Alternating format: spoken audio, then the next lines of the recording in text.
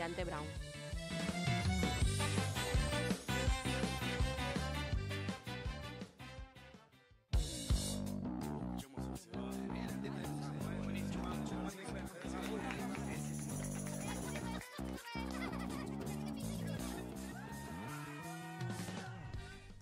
Nuevo bloque en Más que Noticias, ocho minutos pasaron ya de las 12 del mediodía. Tenemos en el piso a un entrevistado de lujo. Él es Roberto Oviedo, artista de Almirante Brón. Vino hoy a contarnos un poco sobre su gran trabajo. Es actor, bailarín y cantante y director del ballet folclórico El Caudillo. Bienvenido Roberto, ¿cómo estás? Gracias, muy bien, muy bien. Gracias por la invitación. No, por favor, el placer es nuestro. Yo no te conozco, tengo el placer de, entrevistarte y conocerte hoy. ¿No lo conocías ni de cara?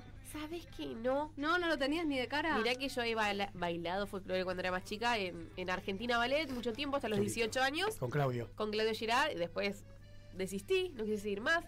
Eh, pero bueno, nada, digo, de algún lugar no tengo que tener de vista. O el Precosquín, que yo viajé en 2020, digo, capaz que viajó y lo vi ahí, no me acuerdo. Bueno, bienvenido. Gracias. Y hoy nos va a contar todo de su trabajo, esperamos que nos cuente, porque bueno, él él vive aquí en Longchamp. En Bursaco, Rotonda del Vapor. En Bursaco, ah, mira, acá nomás. Frente a la, la futura universidad. Ah, a la UNAV, mira, la universidad. Mira, Tengo las aulas justito enfrente de casa. Ay, me muero, me muero, me muero, me encanta. bueno, y andás bailando hace más de 23 años. Más de 23 años, sí. Mira, bueno. Eh, comencé a los 19 eh, como, como hobby porque no bailaba nada iba a los asaltos, como se decía antes, a la fiesta. Los asaltos. Y estaba sentadito mirando como los demás bailaban, hasta que un día, mirando un programa que algunos se ven acordar, que se llama Jugate conmigo. Ah, sí. Eh, y bailaban, y yo empecé a copiar, me gustó el baile, y ahí empecé lo que sería baile. El folclore lo empecé a los 22. Re joven, este, No sabía nada, no, no bailaba nada. Y bueno, hasta hoy eh, la danza este, es una de las cosas que más me gusta hacer. O sea, vos eh, no te acercaste a la danza por venir una familia de bailarines, ni estabas cercano necesariamente al arte. Te empezaste a dedicar al arte mirando la tele y em, te empezó a gustar. Mi papá, es, eh, sí debo decir que parte de mi familia sí es de artista, porque mi papá tocó la guitarra mucho tiempo en grupos folclóricos, mi mamá también bailaba, pero eh, mi, mi función era otra, mi función era estudiar eh, no sé, como cumplir esos mandatos de hijo que había antes y donde el arte no, no, no sé si por ahí estaba tan eh, metido, no nos dejaban. No estaba tan bien visto como algo serio para dedicarse. Exactamente, era el estudio o trabajo, estudiar o trabajas. Claro. Pero, pero bailar y varón menos. ¿Y cómo fue que, que mm, fundaste, iniciaste un ballet folclórico a partir de ahí. De jugate conmigo al ballet del caudillo. ¿Cómo pasó eso? El ballet caudillo no se llamaba así, se llamaba Vientos del Sur y lo tenía a cargo una otra profesora. Vientos del Sur sí me suena, ¿viste? Me decís. Arrancaste con 22, estoy pensando. Eh, y bueno, nada, eh, yo llego a ese lugar porque eh, lo, lo dirigí una amiga cuando la otra profesora se va y ellos quedan sin, sin profe, me llama a mí para darle una mano. Yo inmediatamente le cambié el nombre, le puse así se baila en mi pago, porque el otro nombre era de la otra profe y me parecía que no, no iba, si ella no estaba más, por ahí teníamos problemas. Eh, y en el 2000, eh, cuando empieza el, milenio, todo el mundo decía que se terminaba el mundo, no sé si se acuerdan. Sí. 23 años ya. Después en el 2002, se lo dijeron varias veces. Muchas veces. Un amigo que, muy querido que tenemos, eh, que hemos recorrido mucho también el país con la danza, que es Fernando Rodríguez, el director de Flor de Amancay, mm. eh, me dice, bueno, borrón y cuenta nueva, empieza un siglo nuevo, una, cosa nueva, ponele el caudillo el caudillo, ¿te caudillo, sí. Y me dice, sí, me dice, porque sos vos el caudillo, el que lleva el grupo adelante. Entonces, ese mismo, en ese mismo momento, después de las 12 de la noche, brindando, eh, un 31 de diciembre, ya primero le mandé a todos los que estaban en el grupo, a partir de hoy somos el caudillo, y de ahí el caudillo hace 23 años. Está, existe acá. O sea que arrancó con el milenio, 23 años por eso, porque es el nuevo milenio eran todos nenitos, hoy ya son padres algunos que no bailan obviamente, hay una nueva camada, un nuevo elenco, eh, pero los primeros, bueno, hay gente que no está físicamente también por cuestiones de, la vida, de la pandemia, otros que son papás, otros que están en, en otra parte bailando. Ujú. Me pasó, pasó, pasó mucho. O sea que fueron creciendo con vos. Sí, algunos sí, en lo artístico y en la vida. ¿Tiene el ballet El Caudillo alguna característica especial o es algo, se dedican al... Por ahí tenemos, Diego, fíjate que tenemos un, un videíto que te mandé por el WhatsApp para compartir lo que hace un poco la presentación del ballet, este el aniversario de los 23 años y bueno, que nos da un poco eh, la idea de, de lo que son las presentaciones. Sí. Eh, ¿Es algo, un folclore tradicional lo que hacen? Eh, ¿Bien Eh, clásico? ¿Se dedican a algunos ritmos más que otros? ¿Cómo es? No, no, no. eh, eh, este año por em- eh, hemos implementado, que a- años anteriores no lo hacíamos, tener, por ejemplo, la parte tradicional, cómo se bailaba antes en las épocas de, de la colonia o en el campo, las danzas que se, que se bailaban y que se utilizaban para, para algunas fiestas. Está la parte estilizada, que es el fuerte de los chicos, donde se bailan las peñas. Ajá. Después tenés eh, muchos estilos, el folclore se ayornó mucho, cambió, así como decimos con el milenio, cambiaron un montón de cosas, la danza folclórica cambió, los atuendos cambiaron. Yo siento Eh. que de lo tradicional se fue más a lo estilizado, ¿no? Sí, sí, sí. Yo me acuerdo cuando bailaba, bailaba como muy tradicional la chacarera, el escondido, el gato, la huella, el pericón. Era como muy tradicional todo, hasta el atuendo que yo usaba. Me acuerdo que me mandaba a hacer como un- como el, el- el traje del baile era todo como muy, viste, como muy tradicional, muy gauchesco, me acuerdo. Sí, sí. Y, y ahora yo veo que está como súper estilizado y me encanta Existe también, igual, ¿eh? ¿eh? Sí, sí, sí, Existe existe, esa lo parte, tradicional, sí. sí, sí, sí. Porque, a ver, nosotros venimos de una tradición, la palabra te lo dice, o sea, y Sí. es algo que es eh, el- la idiosincrasia de- de- del pueblo. Hoy vos fijate cómo, hablando de lo que recién decíamos, del ayornamiento eh, de la danza, hoy está como danza tradicional la cumbia y el cuarteto. Porque Sí. el cuarteto viene de una provincia como Córdoba y es la danza tradicional de ese pueblo sí, sí, sí. porque tiene que ver con el pueblo, el folclore tiene que ver con el pueblo, la palabra misma lo dice, ¿no? Eh, entonces digo, si en, un, en, un- en- en ese pueblo la danza más típica en las fiestas, en los casamientos, en los aniversarios es el cuarteto, El cuarteto. yo creo que está bien puesto que el cuarteto sea una danza tradicional como la cumbia. ¿Quién no baila una cumbia en, una, en un evento? Todos. vos vas a un casamiento y pones O un cumbia chamamé o un también. chamamé. Como que yo me acuerdo mucho de eso de, de juntarte en un cumpleaños o una fiesta festiva con la familia y el chamamé eran todos salían a ver el chamamé como en ronda. Era como el chamamé era como el método de encuentro. Así como decirte el folclore en. Porque, hoy en por día. ejemplo, antes, eh, que por ahí algunas veces pasa, cuando nosotros decimos, yo bailo folclore, y vos que bailas chamamé, y vos que bailas tango, y la gente no se, no se da cuenta que el chamamé y el tango es folclore, Sí, porque vuelvo a decir lo mismo, es parte de lo nuestro. el sabor Capaz del que a pueblo vos- es lo nuestro. es Capaz que Ivy por ahí desarrolla más el tango porque le gusta más, pero no deja de ser folclore, no deja de ser parte del, de lo nuestro del pueblo y de lo que, lo que disfruta al- al bailar. Así es. Claro, y yo lo que, lo- digamos, mi pregunta un poco apuntaba que eh, el ballet tuyo, eh, si se centra en algún tipo de, de estas danzas tradicionales, eh, viste que por ahí hay de algunas regiones o por ahí el que hace, no sé, Y- chacarera no hace chamamé, Claro. no sé Nosotros cómo es. estamos muy, eh, eh, por mí, porque es lo que me gusta a mí, muy este, abocados a lo que es lo eh, norteño. Ajá, Lo estilizado que tiene que ver con lo norteño, ¿no? Lo que es samba, chacarera, gato escondido, ahí va. como lo más este bailable, por Sí, decirlo sí, así. Pero no dejamos por ahí de, ver o de estudiar o de decir, bueno, más adelante hacer esto.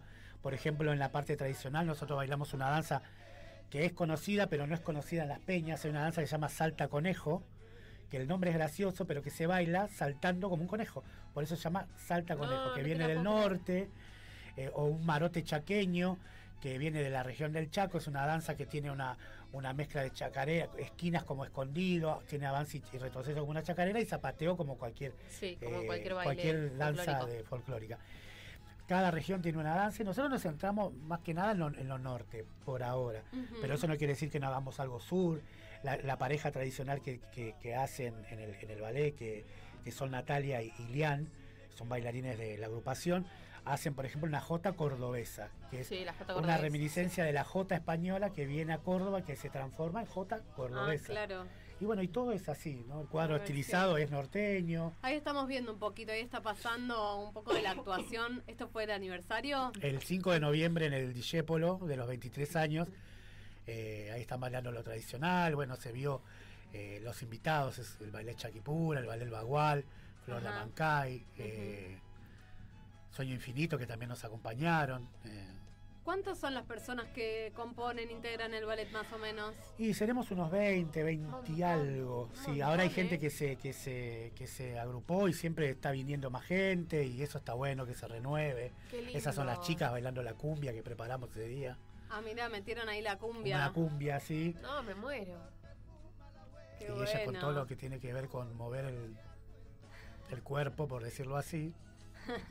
Me mata los giros y las líneas, ¿no? La terminación Sí. de las manos y eso. Hay cosas como básicas que me sigo acordando, por ejemplo.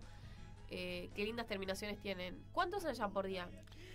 Por ahora estamos ensayando solo un solo día de dos horas, que son los jueves. Y bueno, más adelante mi idea es este, poder ensayar un día más porque tengo la idea de ir a una competencia que no queda acá, que queda en, en- en- en la costa, en Mar Chiquita, en marzo.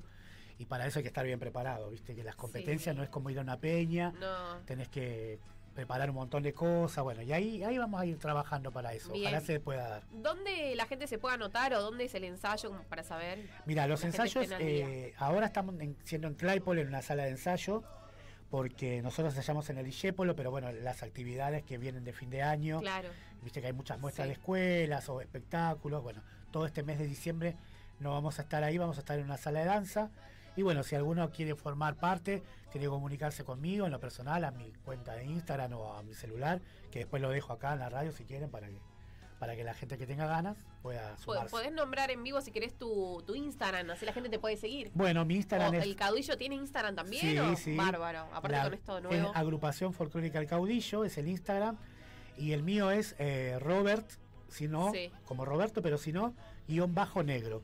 Ese es mi. mi Ok, mi- Robert guion bajo negro, así. ese, es Ahí- Agrupación El. Caudillo, ahora Dieguito. También, también en nuestra publicación en, en Sí, el, en- en en el, el banner. Instagram del Más que Noticias está ahí etiquetado, así que lo Tu pueden Instagram, buscar ahí también. Robert guion bajo negro, así lo pueden encontrar. Bueno, acá están haciendo comentarios, ¿eh? Eh, te dice Robert, talento puro, eh, dice Mauro. Gracias. Ay, sí, Mauro Robert, talento puro. Bea Sosa, gra- genio Robert, gran persona, excelente profe. Sueño infinito te adora. Gracias. Qué lindo, qué lindos mensajes, me encanta. Es un grupito de. No, un grupito, perdón. Un ballet de, de acá de José Mármol también, que son de Brown, con el que empezamos a trabajar este año, hace poquito. Y viste cuando vas descubriendo gente que conocías hace mucho. Sí, Y pasa algo eh, que puede pasar en todos lados, capaz, digo, ¿no? Esta cosa de no conocerse y no, no ver cómo es el otro y tenerlo tan cerca. Hmm. Y por ahí verdad. tenés, yo tenía una imagen de ella que no era y ella tenía una imagen mía que no era, hasta que nos sentamos, charlamos y nos dimos cuenta que estamos tan cerca y lejos a la vez por lo que había en el medio, por decirlo así. Y hoy conocí a, a, a Aye, que es la profesora junto con Bea, eh, a dos personas hermosas y un grupo maravilloso de trabajo. acá eh, el que está utilizando la cuenta de Mauro para responder en Twitch es Daniela. Soy Daniela Soy Daniela, exigente, Clara. mal disciplina puso. ¿Cómo trabajas con bastante disciplina? ¿Sos como muy No sé, habría que preguntar a la, a la gente. A mí Eh, me pasaba que mi profesor, mi ex profesor, eh, Claudio Girard, era demasiado exigente. Sí. Era como, pero una exigencia a mí que llegó un momento que había cosas que a mí ya no me gustaron. Entonces dije, bueno, no sigo más porque siento que ya no estoy cómoda la- eh, eh, bailando que arranqué de los 10 años, 12, mucho no me acuerdo, hasta los 18. Después dije, no, bueno, ya no es mi lugar. Eh, y hace poco volvió a bailar folclore después de años con Dieguito que bailamos una chacarera, un gato, bailamos en, en el HCL otra vez y fue volver a, a bailar. De hecho, Dieguito me incentivó, me dice, Meli, ¿por qué no te anotas en un ballet, no volvés a bailar? Porque es como volver a, a revivir esas lindas Bueno, lo, épocas. lo que puedo decir de, Sí. de- forma de enseñar de Robert, que bueno, Sí. hay algunos profesores que también a veces son bastante duros con los alumnos Sí. y terminan desmoralizándolos o desmota- desmo- Bueno, eso es lo que a mí me pasó. Y dije, no, chao. Entonces con, con Robert, eh, digamos, si bien eh, tiene sus reglas y Vos dijiste que digan, están diciendo, Está bien, eh, está bien. si agarrate tiene ahora. sus reglas, Agarrate, Robert. eh, Sí. Y que nada, en algunas cosas puede ser ah, ah, bastante estricto y bastante Sí. detallista. eh, nos da un cierto margen también para nosotros ser más ser creativos también, eh, aportar también nuestra eh, de, de- de nuestro conocimiento al- a, los cuadros y demás. Así Sí. que nada, en eso por lo menos de mi parte, siempre me sentí cómodo. Qué lindo, porque también tiene que ver con... eh, a mí me gusta también que haya un profesor con disciplina, que marque límites y más, porque también te perfecciona que vos puedas bailar bien y, y dar un buen espectáculo también. Y yo sé que alguna, hay algunos, yo me considera, me consideraba en un momento media patadura, porque era tan rápido todo girar, era como todo rápido. Y dije, no. No llegabas. No es para no mí. llegabas. No me dejes en la esquina practicando sola, Claudio. Es que- Chao, me fui. es que Te eso- juro, no me gustó. Eso es eh, todo práctica. Claro, sí, sí, sí. Y practicamos bastante, pero dije no. dediques, Mejor. Más mejor te va a salir. Es verdad, Después sí. por acá por el Twitch también siguen opinando, dicen exigente, mal, disciplina, Ah. disciplina, peinadas, bañadas, jaja. Y, Y, después sí. Roy, Roy Níguez dice, yo empecé eh, hace... Y me encantó. y me encantó, es un grosso, pero te da la oportunidad de poder expresarte a través del arte. Qué lindo. Bueno, ahí está. Yo creo que sí, un Sí. poquito de esa exigencia también Es importante. no llegas a un Sí. resultado, ¿no? Bueno, nosotros venimos, de un- yo vengo de una camada, ustedes tienen que pensar, yo tengo 46 años, y venimos de una camada, o, o- o yo vengo de una camada de, de donde el, el profesor pegaba dos gritos y vos te callabas, por más que sea tu amigo, Sí. eh, porque adentro del ensayo era un ensayo. Era una escuela y era también, una escuela ¿no? que te enseñaba no solamente baile, te- la disciplina. Eh, yo vengo de la danza clásica, aunque ustedes no lo crean, yo hice danza clásica con este cuerpo y siempre fui en contra de esos eh, parámetros que mi, mi- mi mentora, mi maestra, que debe estar por ahí, Noemí Molinari, Ay, es un amor. Eh, la entrevistamos acá y. ella eh, siempre me, cada vez que me ve me elogia o le dice a mi mamá, porque tu hijo, tu hijo, pero porque ella me decía, era un tipo que no le importaba lo que le decían. Yo hacía lo que ella me, me- me mandaba y así aprendí. Y con la disciplina aprendés un horario y el compromiso con no solo con vos, sino con tu compañero. Porque en esto, Diego lo sabe, tenés una pareja con quien bailar o varias porque vas cambiando. Y no venir a un ensayo es hacer que el otro también no pueda ensayar con vos y por ahí pierda su tiempo. Eh, digo, no es, no involucra a una, involucra mucho. Entonces cuando uno empieza a ver eso, a nosotros nos pasa que nosotros compartimos un espacio con Ibi de comedia musical. Cuando te faltan dos o tres ya no es lo mismo que estemos todos, por más que vos tengas la mejor. Sí. Entonces, la disciplina sirve también para eso, para mm, en la vida, digo, para, para Sí. las decisiones que vos tomes, para ver cómo.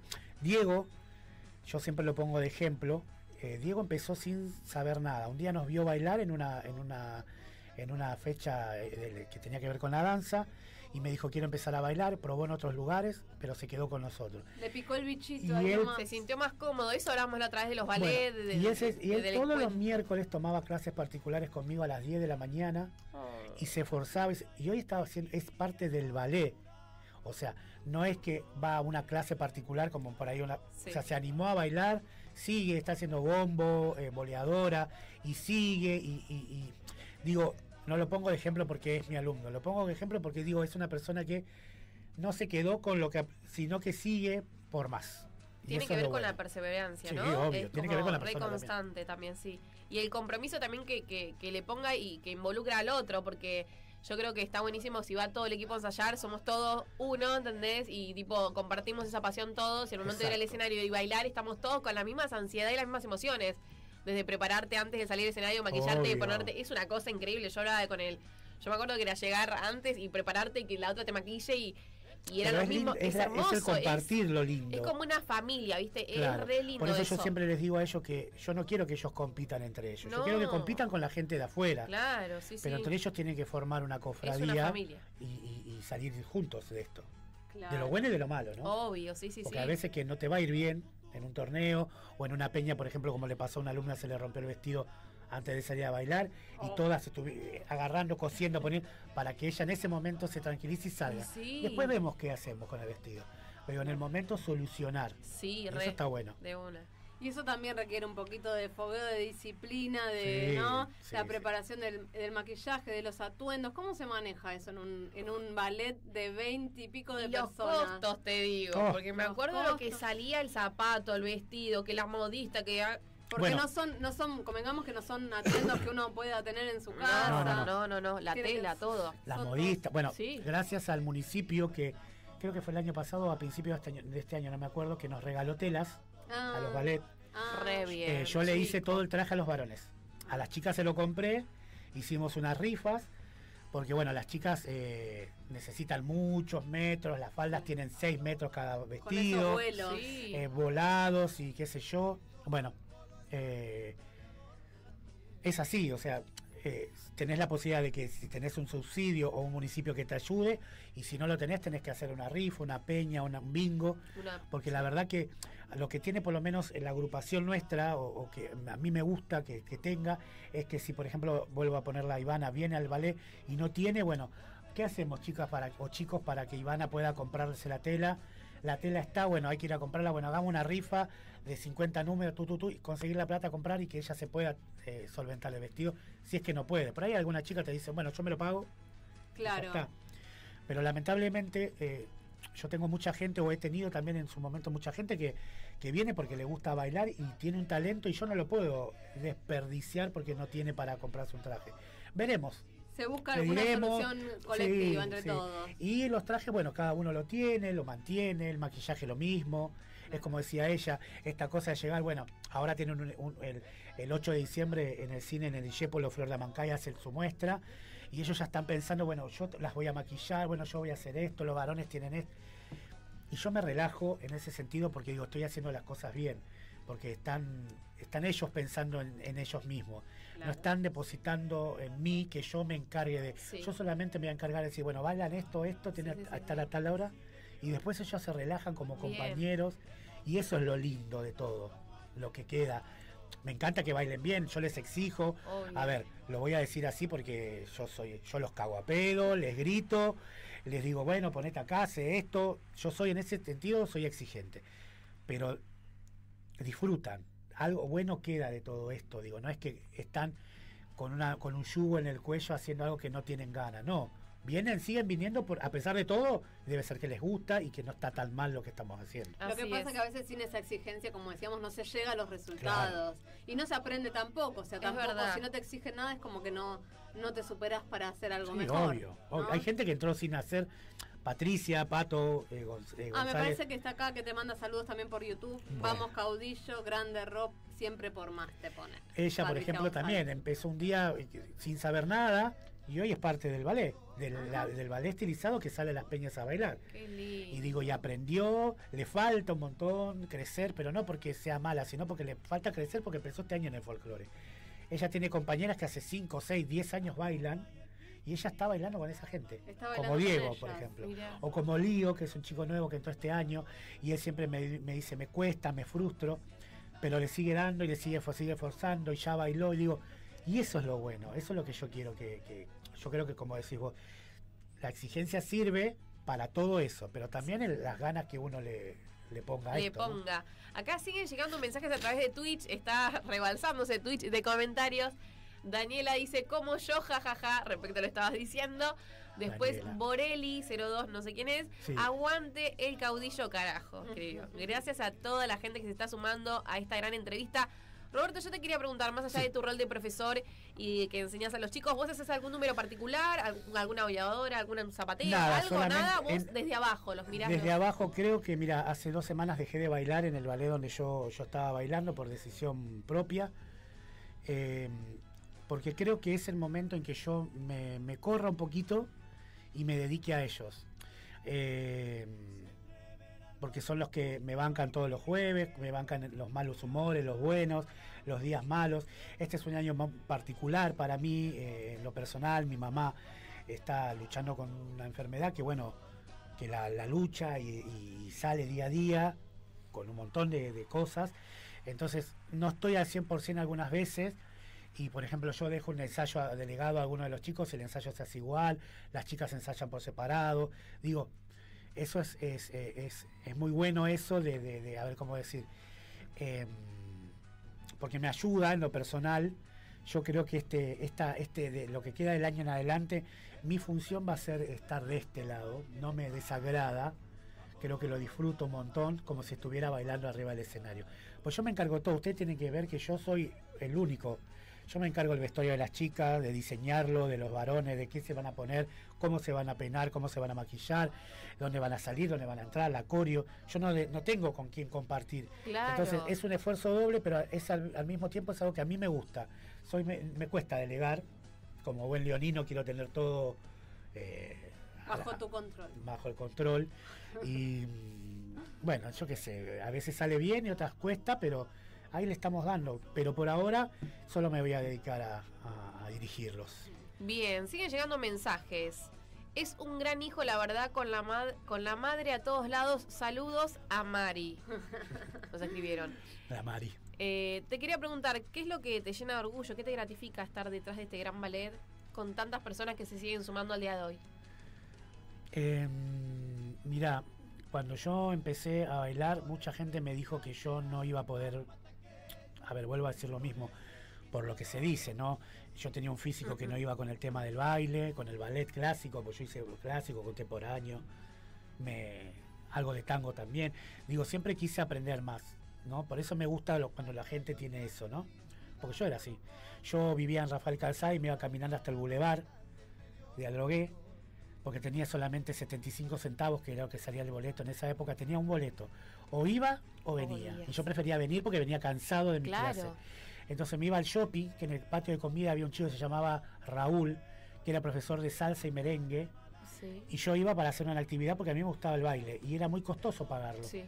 Entonces me iba caminando, tomaba mi clase, hasta que un día Raúl me dijo, Robert, ¿no querés que te ponga una tarima para que vos bailes conmigo y la gente que está más atrás te vea a vos ahí y, y la gente que está más adelante me vea a mí? Claro. Y yo me quedé como diciendo, wow, que el tipo me haya visto. Sí. Me puso una tarima, buscó en el bulevar una tarima porque el patio de comida se llenaba los martes y los jueves. Sí. Y yo copiaba lo que él hacía, entonces la gente que estaba atrás mío, que no lo veía a él, me veía a mí. Y seguía los pasos que yo copiaba de él y la gente que estaba muero. Y así empezó. Wow.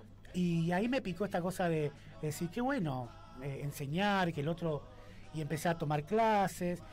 Y mm, me costó mucho, me, pero me costó mucho con el prejuicio. Claro, de sí, la sí, sí. gente. Uno vive a veces con eso y quizás te tira abajo y dices, no, yo no puedo. Mira, recién dijo Diego algo que es esta cosa de, de motivar al otro. Sí, Eh, yo conozco muchos profesores que son así. sí, sí. eh, sí, que es eh, que desde su afán eh, hacen eso.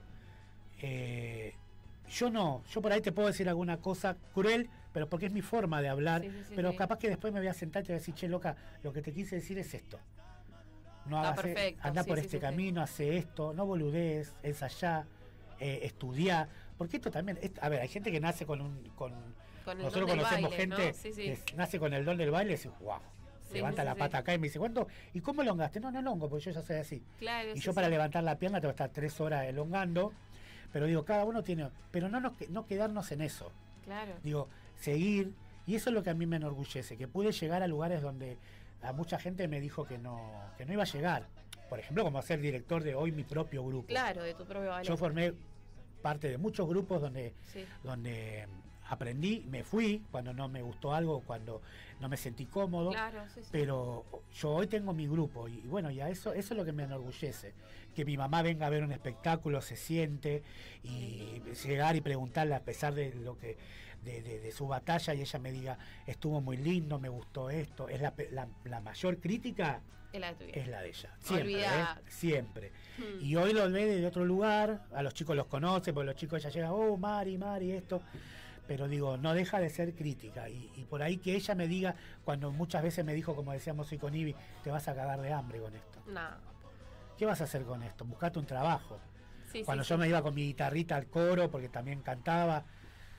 Y bueno, pero hoy me, me siento orgulloso de los chicos que tengo, de los compañeros, cómo son entre ellos. Sobre eso te quería preguntar también, Robert. ¿Qué posibilidades tiene alguien que le gusta como vos que dice, a mí me encanta esto de bailar, esto de la música, esto de cantar? Eh, ¿Qué posibilidades tiene de hacer de eso un trabajo o de poder trabajar de eso? ¿Cómo, cómo lo ves vos que, que la pasaste y que te amacás en esa, en esa realidad?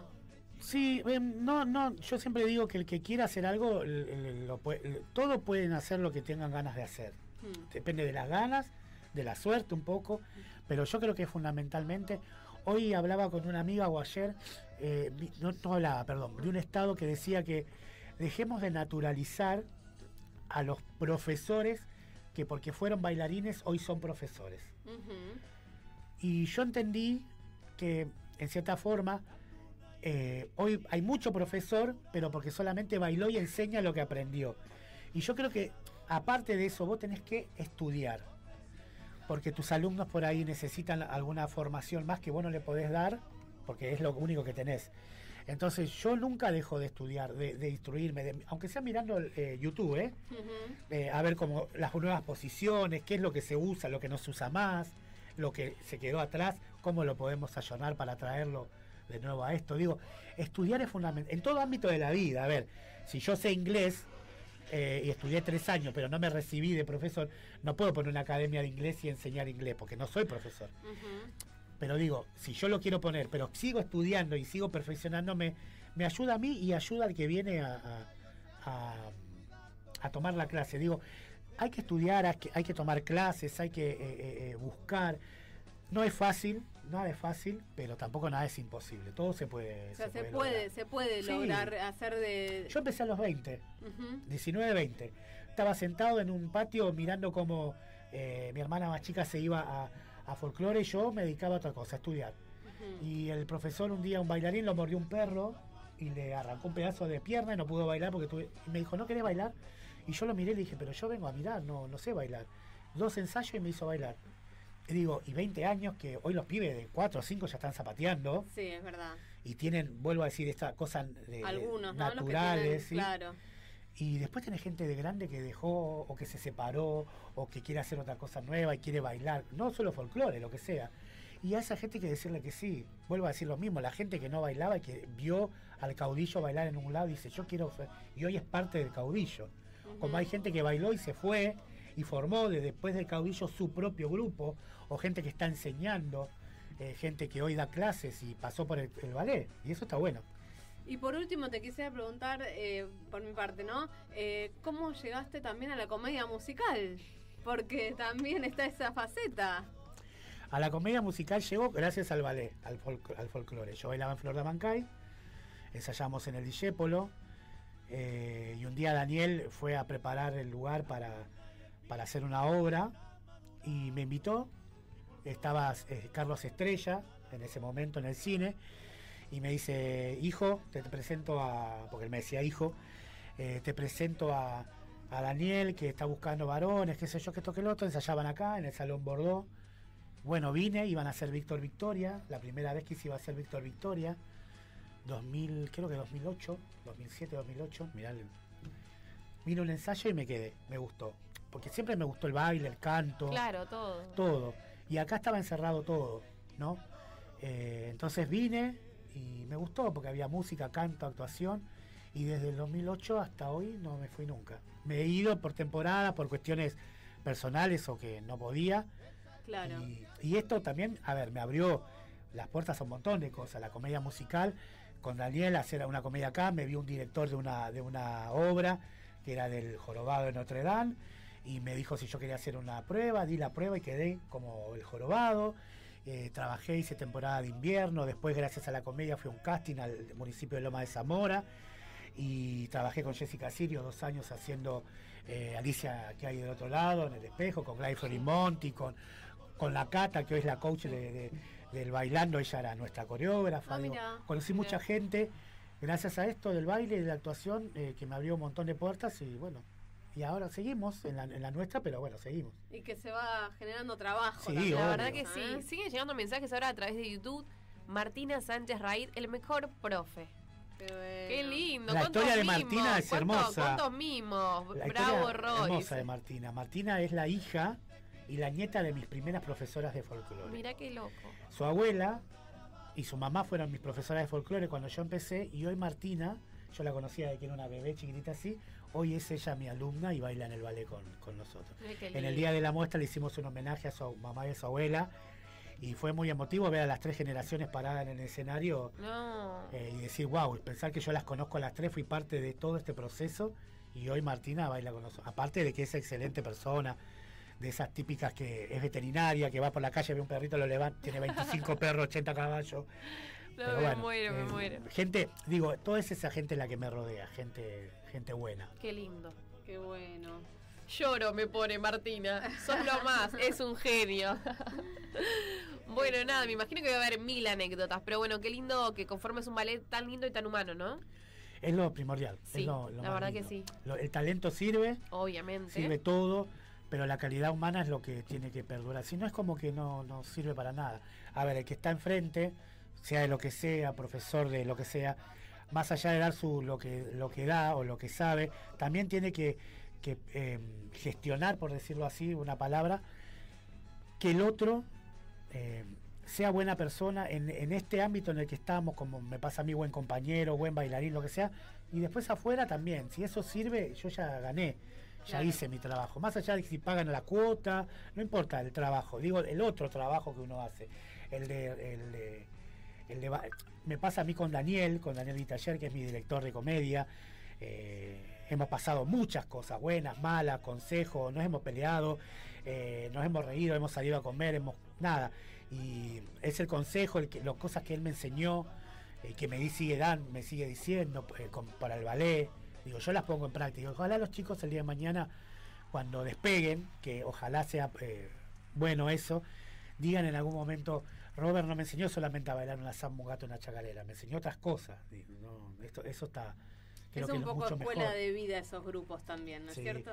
Sí, porque tenés gente que viene con, con problemas muy grosos y que el baile es su escape, ¿no? Es su ratito de, de esparcimiento y, y podés Porque desde charlar. ahí se puede fortalecer para enfrentar todo, ¿no? Sí, sí, obvio. Bueno, el arte, vos lo sabes que el arte sana. eh, bueno, vos me decías, yo bailé folclore y es como que. Y Diego te dice, ¿por qué no volvés por ahí? Porque te va a hacer bien. Sí, De a sí, poquito, sí, sí, como a ella le hace bien. eh, hemos eh, tenido charlas, uno algunos días tiene días feos y llega a esas horitas que por lo menos te, Es descargar. te descarga, aunque vuelva Sí, sí, después sí. al mismo problema. Tal pero cual, digo, sí, sí, es, es un momento en el que descargas y conectás desde otro lado, ¿no? Sí. Desde el baile que quieras o no, para mí sana. Sí, obvio, sana todo. Robert, ¿hay alguna próxima presentación que debas de Hay, recordar? hay. El ¿Querés 8, de, el 8 de diciembre en el Discépolo, Flora Mancay hace su muestra anual. Este, así que ahí vamos a estar bailando. Creo que es con entrada gratuita, no lo sé, Dieguito, que es el que está ahí manejando Del eso. Licépolo es con entrada gratuita, ¿no? El del 8, Sí, el del 8. Sí, sí, sí. eh, Quizás está- es con, con a beneficio, con alimento no perecedero, quizás. ni idea. Bueno, eh, ya lo a- vamos a ir después lo vamos a ir diciendo. Sí. Así es. El 9 también bailamos en, en Longchamp, en un country. El 15 bailamos también en, en Longchamp, en otro evento. Así que los chicos eh, tienen, tienen para hacer. Despedida de año por ahí, están queriendo. La, la fiesta, la joda, porque les gusta. Eh, tengo eh, alumnos como así en eso, muy aguerridos. Y después nada, prepararnos para lo que se venga y estar, estar ahí siempre haciendo algo. Bien, por último te quiero preguntar, la consigna del día del programa hoy es, ya que es el Día Nacional del Mate, mi pregunta es, ¿cómo tomas el mate, Robert? Lo tomo dulce con edulcorante, Mira. el diabético. No. Eh, y lo tomo hace un- dos semanas eh, acompañado de mi madre. Bien. Antes lo tomaba solo, ella no tomaba mates. Pero bueno, esta cosa de, No me digas, de lo ¿empezó que a tomar ella- mate? de lo que ella tiene Mira. y de su de que algunas veces no recuerda cosas, vio mi termo y dijo, ¿por qué no tomamos unos mates? Y yo le digo, ¿que en serio querés tomar un mate? Sí. Entonces salí afuera, busqué en la planta de burrito unas hojitas, Ahí está, ¿viste? Con burrito. un pusimos burrito, unos, unos burritos y desde ahí empezamos a tomar mates los dos. Así que desde hace unos días acompañado, pero con edulcorante, ¿qué va a ser? Claro. Bien. No muy encanta. gaucho, pero bueno. No importa, lo importante es compartir el momento ahí, Sí. ¿no? Bueno, Robert, te quería agradecer por haber venido. No, No, te ustedes. conocía, un placer, la verdad que voy a tratar de ir algún día que bailen con el ballet porque me muero, quiero ver a Dieguito bailando. A un ensayo video, pueden un venir, están ensayo invitadas, también, sí, también, obvio. ¿por Con mate no? en mano, Todo, todo. y bueno, disfrutar de todo lo lindo que se viene en el ballet. sí, obvio. Déjame que le mande un saludo a los chicos. que- Obvio. a están todos ahí, los que están, a todos. todos los chicos no los nombro porque son un montón, eh, a, las, a las familias y en especial, bueno, a mi madre, que no creo que esté escuchando, pero después se lo voy a mostrar seguramente, que es la, la que apuntala, a pesar de que hoy la situación es otra, es la que apuntala, la que está, la que va, como dijeron por ahí, a todos lados, eh, y por la que yo creo que también estoy parado haciendo todo lo que hago. Así es. Bueno, gracias Roberto por No, venir. Por favor, todos los éxitos de lo que encares de acá en adelante. Muchas gracias. No, por favor. Bueno, nos vamos a una pausa. Quédate hasta las 13 acá en Más que Noticias.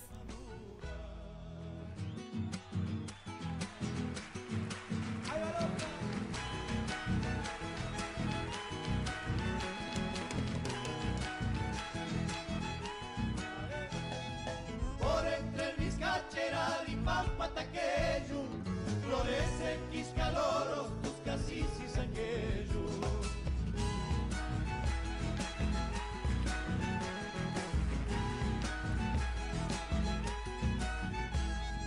El Sachayo se hace oír cuidando los montes, despiertan Salamanca, se medio